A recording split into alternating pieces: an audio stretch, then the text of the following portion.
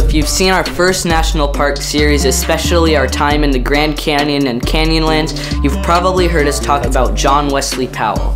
I first heard about him in Hazardous Tales, the graphic novel history series we love. It's definitely for older kids and parents will want to check the back of the book to see if it's something you'd approve of. But anyway, it was really cool to read the book about his adventures and visit the same place he explored. Cause like mom always says, it's like time traveling. So here's a quick look at who John Wesley Powell is and what he's known for. Born in 1834, Powell pretty much loved geology and exploration his entire life. When he was 21, he walked across Wisconsin. It took four months, which is about how long it feels when you're driving through today. The next year, he rode down the Mississippi from St. Anthony right here in the Twin Cities to the Gulf of Mexico and took on a few other rivers over the next few years. He fought for the Union Army in the Civil War and he lost his right forearm during the Battle of Shiloh.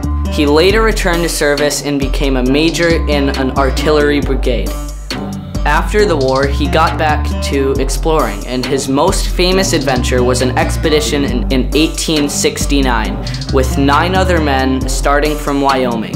They took four boats down to the Green River to where it meets the Colorado River, which is in Moab and Canyonlands National Park if you were wondering, and went all the way to the Virgin River in the Grand Canyon. It was legendary.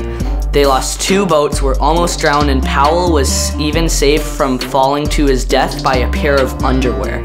And then there's the mystery of three of the men who left the team but were never seen again. Two years later, he returned with funding from Congress, a photographer, and a larger team to better scientifically survey the area. He journaled during the expeditions and later published a book about it. He went on to be the director of the U.S. Geological Survey from 1881 to 1894. He died in 1902, but his legacy lives on in different ways. He named Glen Canyon on his journeys, and Lake Powell in that same area is named after him. He is buried in Arlington National Cemetery. Thanks for time traveling with us. To read more about John Wesley Powell, follow the links in the description. And if you missed our first time travel video, check it out here. And we'll see you later.